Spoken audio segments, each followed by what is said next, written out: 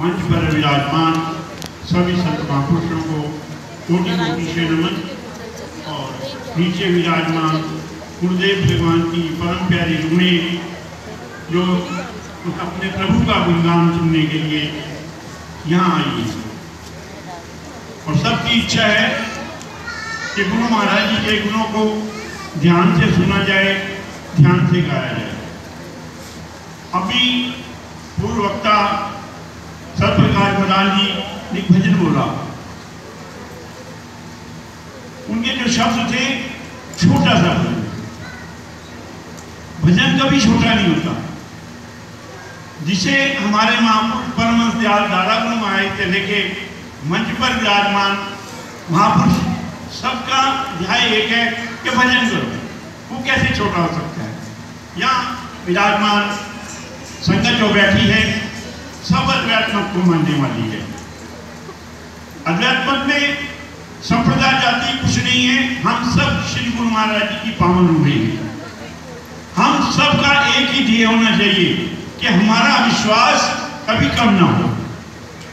गुरु महाराज तो कहते हैं, उनका मुखार सही शब्द है, आओ मेरी बाह पकड़ो मैं तुम्हें बहुत सागर से पार कर दूँगा। अपने विचारों को कभी छोटा ना होने दें।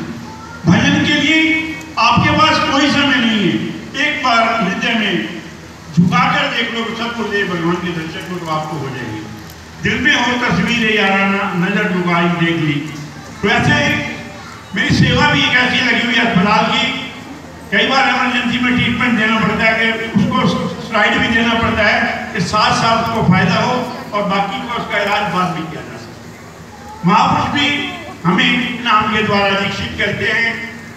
अगर हम डॉक्टर्स की बात को छोड़कर, महापुरुषों की बात को छोड़कर, उसी समाज में फिर से रहना शुरू कर देंगे, उसी समाज में फिर आदि लिप्त हो जाएँगे तो हमारे जो हमारी पवित्र आत्मा है, उस पर आवरण आ जाएगा। उसको साफ़ करने के लिए हम फिर कीर्तन करेंगे। हम कोशिश करेंगे हमारे ऊपर आवरण आई ना। हमारी भावनाएँ सदगुरुदेव भगवान की प्रति कम न हो। यहाँ जितने भी सैकड़ों में लोग बैठे हैं। हर एक की भावना एक दूसरे से बढ़ के होनी चाहिए।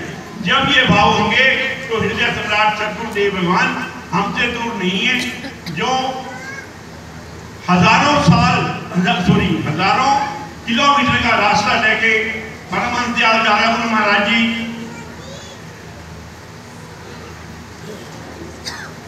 श्री गुरु महाराज जी को लेने के लिए टेरी पहुँचे। आज तो संसाधन है संसाधनों से गए होंगे।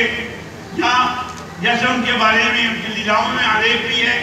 कि दारा गुरु महाराज जी को भी।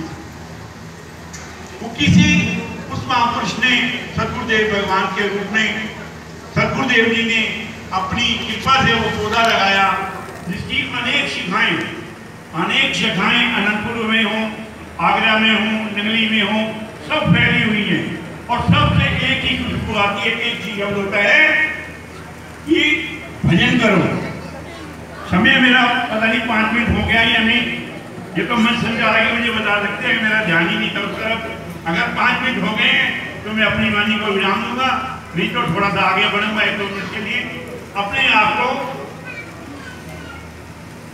सामाजिक कुरीतियों से दूर रखे हम उस पत्थर के समान जमाने एक मूर्तिकार की छोटी सी बात क्या कि मैं अपनी बात को शब्द खत्म करूँगा। एक मूर्तिकार पत्थर को तोड़ता रहता है। उसी में से उसके हाथ बनाता है कर कमल बनाता है, उसी का मस्जिद बनाता है। और लगाता कुछ भी नहीं है। और एक दिन वो मंदिर में विराजमान होकर उसकी पूजा करके उसको भगवान के रूप में प्रतिष्ठित कर दिया जाता है। ईश्वर ईश। हम ईश्वर के ही अंश हैं। और हमारे ऊपर कोई आवरण ना हो तो उससे हम जरा भी नहीं थोड़े शब्दों को स्वीकार कीजिए और एक बार प्रेम से ऊँचे स्वर से जय घोष कर देना। मैं समझूँगा मेरी हाजरी लगे। बोलिए जयकारा, बोल मेरे श्री गुरु महाराज की जय। भगवान की जय। बहुत सुंदर वक्तव्य प्रस्तुत किया श्री स्वामी जी ने। निवेदन कर रहा हूँ मेरे साथ बैठे। महात्मा जी ने